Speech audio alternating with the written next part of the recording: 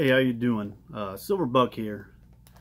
It's our favorite time of the year. Let's talk about taxes a little bit. So, let me get this off right away. I'm not a tax expert. I'm not a financial expert or anything in that nature. I'm just telling you what worked for me last year. Um, some tips and tricks that I learned. And I tried it for the first time and it worked out really well for me and my family. So what I did is I filed, you know, I'm married obviously. Uh, if you watch my videos, you probably know that. But I'm married, but I filed single. I did. I had my tax withholding single at a higher tax withholding with zero dependents. Why did I do zero dependents and single? Because they hold withhold more taxes every week out of my check that way. Now on top of that, I also did an additional withholding of $25 a week every week for $100 a month for $1,200 a year. Why would you do that, Silver Buck? Why would you want them to hold the most taxes and do additional withholdings? I'll tell you why. I knew I was going to make a considerable amount more than I did the year before. And I did not want to have to pay in at the end of the year on my taxes. So I wanted to make sure that I got a kickback, obviously of my own money. I know they're not paying me, it's because I paid in too much. But I'd rather have too much than too little, i.e., me stacking. I had a couple friends, you know, come up to me, colleagues, co-workers, and say, hey, man, last year I had to pay in because I made, you know, X amount and they didn't take enough taxes. Well, it's not that they didn't take enough taxes. You just didn't set up your tax information properly. That's why, you know, everything ended up where you owed at the end of the year. Some of y'all want to gamble and try to get the most out of each check. So at the end of the year, you kind of balance out even. I prefer them to take too much down here. And at the end of the year, they have to pay back this to this so we're even again. I don't want to be the other way around where I'm paying all this and to get even with them. So, with that being said, I ended up owing city taxes because when I switched jobs, I didn't catch that the city was no longer coming out from my job before to this one, which is fine because I was overpaying for eight months out of the year before I switched out the last five months of the year for a new job.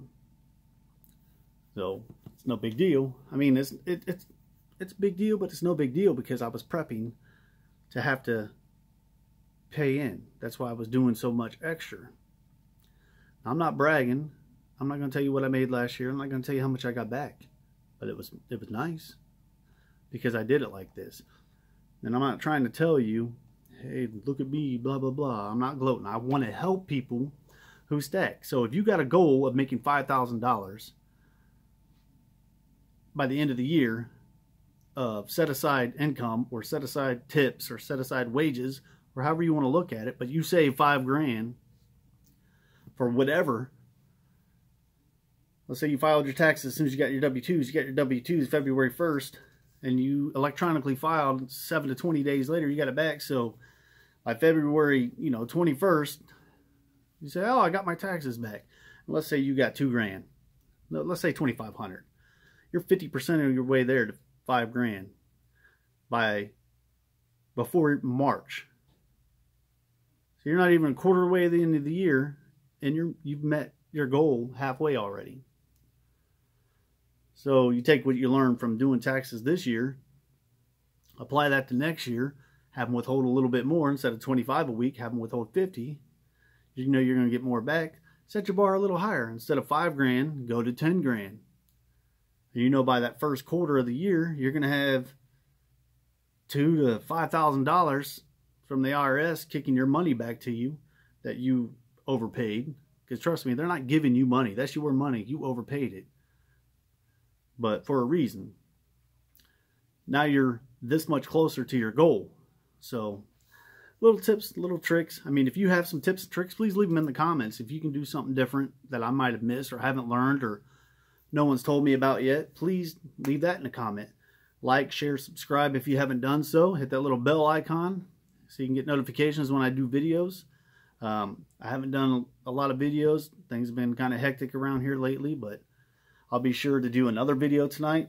Um, and yeah, please leave a comment let me know what you think. If, like I said, if you have any tips or tricks on what else I can do to help improve my tax return, let me know. Uh, one last thing, caveat before I get out of here.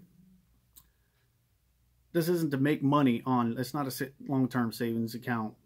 You don't get interest off of it. This is just, you paid in a $1,000 too much, you're going to get a $1,000 back. But uh, the way I look at it, it's a piggy bank you can't break into. It's a savings account you can't go to the bank and withdraw. I already stack. It's not like, you know, I nickel and dime every penny of every check and it's allocated to groceries and this bill and that bill. I'm trying to come up with different ways to stack and I just figured out taxes is another way I can stack and at the end of the year get a decent chunk of change back to help me reach my goal of saving X amount of dollars for that year. And as you know, this year I'm trying to save a hundred dollar or a hundred bills of every bill, uh, every denomination. So 101s, 102s, 105s, 110s, 120s, 150s, 100 hundreds. And as you saw in previous videos, I got the 1, 2s, 5s. I'm working on the 10s. Not a bad. It's February. 1, 2s, 5s. working on the 10s. It's February. So, see what I'm saying? You, just do things a certain way. Set yourself up for success. I'm not trying to get rich today. I'm trying to set up generational wealth for future kids, grandkids, and on. So set your family up for success, set yourself up for success first, and teach your children, and it'll spread. So thank you. Let me know, like I said, leave, leave a comment. Let me know what you think. If you have better ideas, if you have tips and tricks that I don't know or haven't heard of yet, go ahead and leave it down there in the comments. I'd appreciate it. Thank you. Silver Buck out.